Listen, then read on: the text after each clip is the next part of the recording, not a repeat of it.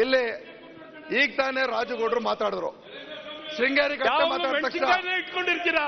ಈಗ ನಮ್ಮ ಕಂಟಿನ್ಯೂ ಮಾಡಿ ಡಿಸ್ಟರ್ಬ್ ಆಗಬೇಕು ಕಂಟಿನ್ಯೂ ಆಗಿ. ಈಗ ಬ್ರೇಕ್ಫಾಸ್ಟ್ ಫಾಸ್ಟ್ ರಾಜು ರಾಜುಗೌಡರು ಮಾತಾಡಿದ್ರು.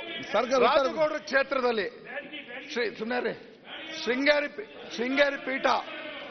ಶೃಂಗೇರಿ ಪೀಠವನ್ನ ರಕ್ಷಣೆ ಮಾಡಿದ್ದು ಟಿಪ್ಪು ಸುಲ್ತಾನ್. ಆ ಶೃಂಗೇರಿ ಪೀಠಕ್ಕೆ ಅವಮಾನ ಮಾಡಿದವರು ಆ ಶೃಂಗೇರಿ ಪೀಠಕ್ಕೆ ಅವಮಾನ ಮಾಡಿದವರು, ಇವರ ಸಂಘಟನೆಯವರು, ಆ ಶೃಂಗೇರಿ ಪೀಠಕ್ಕೆ ಆ ಒಬ್ಬ ಬಜರಂಗ ದಳದ ಕಾರ್ಯಕರ್ತರ ಮುಖಾಂತರ ತಂದು ಅವನನ್ನ ಇವತ್ತು ಉಚ್ಚಾನ ಅಂತ ಹೆಸರಿಟ್ಟು ಅಲ್ಲಿಂದ ಈಚೆ ಕರ್ಕೊಂಡ್ ಬಂದ್ರು. ಈಗ ನಾನು ನಿಮ್ಗೊಂದು ಮಾತು ನಿವೇದನೆ ಮಾಡ್ತೀನಿ ಅಧ್ಯಕ್ಷೆ. ಈಗ ತಾನೇ ನಮ್ಮ ಎತ್ತಾಳ್ ಸಾಹೇಬರು ಮಾತಾಡ್ತಾ ಹೇಳಿದ್ರು. ಅವ್ರ ಕ್ಷೇತ್ರದಲ್ಲಿ ಟೋಪಿ ಹಾಕೊಂಡು ಮಗು ಎತ್ಕೊಂಡು ಮುತ್ತಿಕ್ತಾರೆ ಮುಸಲ್ಮಾನ್ ಹೆಣ್ಮಗುನ. ಇಲ್ಲಿ ಬಂದ್ಬಿಟ್ಟು ವಿರೋಧ ಮಾಡ್ತಾರೆ. ಚಿಂತೆ ಇಲ್ಲ, ಅವ್ರ ವೈಯಕ್ತಿಕ ವಿಚಾರಕ್ಕೆ ನಾನು ಅಡ್ಡಿ ಬರಲ್ಲ. ನಾವು ದೇಹ ದೇಶದ್ರೋಹಿಗಳನ್ನ ತಾಯಿಗಂಡ್ರು ಅಂತಾರೆ. ಇವತ್ತು ಪುಲ್ವಾಮಾ ಘಟನೆಗೆ, ಪಠಾಣ್ಕೋಟ್ ಘಟನೆಗೆ, ಅರುಣಾಚಲ್ ಪ್ರದೇಶನ ಆಕ್ರಮಿಸ್ಕೊಂಡಿರೋದಕ್ಕೆ, ಇವತ್ತು ಸುಳ್ಳು ಸುಳ್ಳು ಈ ತರ ಹೇಳಿಕೆಗಳನ್ನ ತಿರ್ತಿ ಚಿತ್ತಿ ಕಂಪ್ಲೇಂಟ್ ಕೊಟ್ಟು ಕೊಟ್ಟು, ಅವೆಲ್ಲ ನಿರಾಧಾರ ಅಂತ ನಿರೂಪಣೆ ಆಗಿ ಬಂದಿದೆಯಲ್ಲ?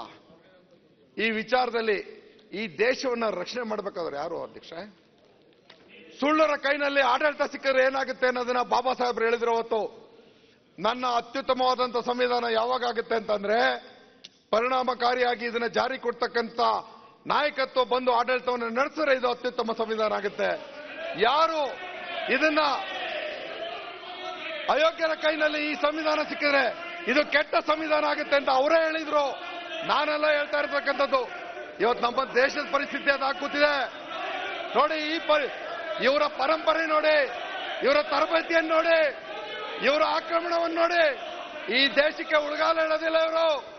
ಗೋಧಿ ಮೀಡಿಯಾ ಇಟ್ಕೊಂಡಿದ್ದಾರೆ. ತಿರುತದ ಹೇಳಿಕೆಗಳನ್ನ ಕೊಡ್ತಾರೆ. ಆಯ್ತು ಬೇಗ ಮುಗಿಸಿ. ರಾಷ್ಟ್ರದಲ್ಲಿ ಕೋಮುವಾದವನ್ನು ಹತ್ತಿಕ್ಬೇಕು ಅಂತಂದ್ರೆ ದಯವಿಟ್ಟು ನಿಷ್ಪಕ್ಷಪಾತವಾಗಿ ತನಿಖೆ ಆಗ್ಲಿ. ದೇಶದ್ರೋಹಿ ಯಾರೇ ಇದ್ರು ಅವರು ಶಿಕ್ಷೆ ಆಗಲಿ.